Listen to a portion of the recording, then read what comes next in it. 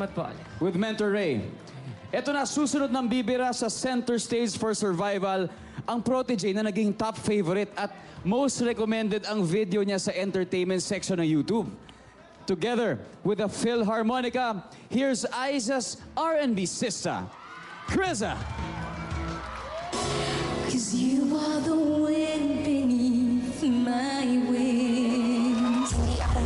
makapaniwala na ganun yung magiging reaksyon ng mga tao na magugustuhan din nila. Mamaya, ang song na i-perform ko ay Narda by Kamikaze. May kutob kasi ako sa Narnia. Bakit? May kutob lang ako sa kanya. May experience kasi ako before na naging super avid fan ako. Sino itong fan na kina-obsess mo? Bernal po. Sa performance ko po mamaya, ang makakasama ko po ay sa Philharmonica. Mapabotong tuman or hindi. As long as alam ko talaga sa sarili ko na ginawa ko yung yung best ko talaga sa sa performance ko yun.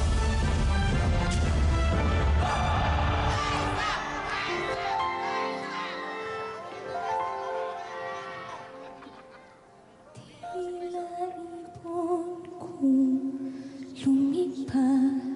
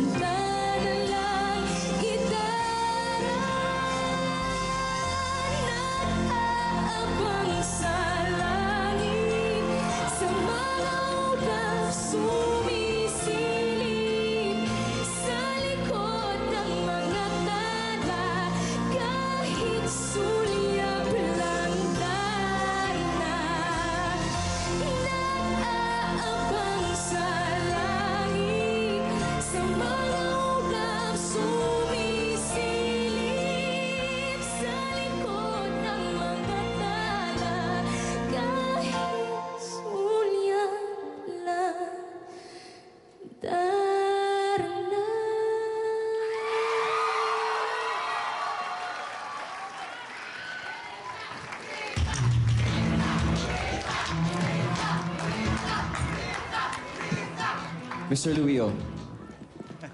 I think what you ang ginawa ang ginawa mo ngayong gabi was a stroke of genius, no? Ah congrats kay ano Sorry po. Walang Aisa, Aisa. Pero seryoso po, sir. Wala Sa akin, ang ganda ng interpretation ng kanta. Ah, galing sa puso, Very sincere. Yung areglo, napakaganda. Then you had the string section. You have to con... Okay, Aiza, wala akong masabi. Ganda. Sobrang ganda. Thank you. Ganda. Thank you very So, wala akong masabi. Maganda. Miss. Yula. Divine.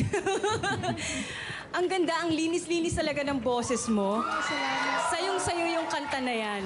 Ang ganda ng areglo, wala akong masabing kahit na ano na negative. Ang galing, ang ganda-ganda.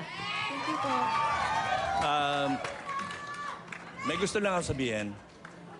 Et, ito para sa mga... Ito para sa mga nagte-text. Si Krisa po, napakagaling kumanta. Dapat yung iboto yan. Kasi ilang... da- twice na na-bottom two si Krisa in spite of a very good performance. That's not fair. Kaya kung sabi nga ni Yula last week, kung boboto kayo, bumoto kayo dahil magaling talaga kumanta at genuine talent. Ayan si Krisa. Thank you po talaga. Ako rin po may gusto sabihin. Ah, pero hindi pwede. Pero hindi, Krisa, um, please invite your fans to please vote for you. Um, sana po, iboto niyo po ako. Um, text ProTJ space Kriza and send to 367 or 2344. Vote niyo po ako. Alam mo, swerte ka. Andyan si Aiza. Opo. Mentor Aiza, Swerte. may gusto ka ba sabihin?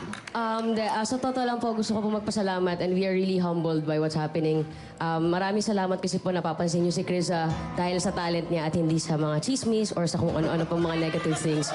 And um, ever since po nag-start kami dito sa Protege, um, iniiwasan po namin talaga kasing mangyari yon dahil hindi naman po ako, lu- sa showbiz pa ako lumaki, hindi po ako lumaking showbiz.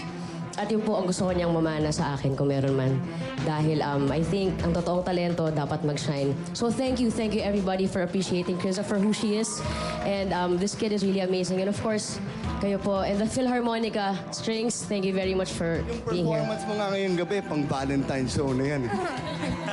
Thank you, sir. Ganda. Thank you po. Once again, let's give it up for Chris's performance. At dahil dyan, tignan natin ang ating live ranking. Nangunguna ang So What. Chris, ay,